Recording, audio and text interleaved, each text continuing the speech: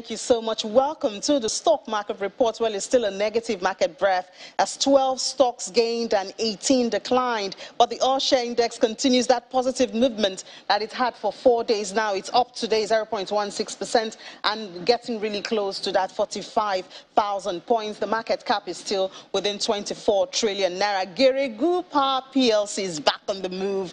We see that it gained 6 naira today to top today's trade and it closed at 160 16 naira, and that's after it transacted 13 million of each unit. The others are from the banking counter and they all shared from their share prices. Well, it's mostly red when we look at the activity charts today. Hopefully from what we had yesterday, only value was able to escape that red splash, 3.38 billion at the close of trade. Now, the summary of today's trade is that the bull won. So we leave the bull right here until tomorrow, see if it can dominate the market again. That's the stock market report.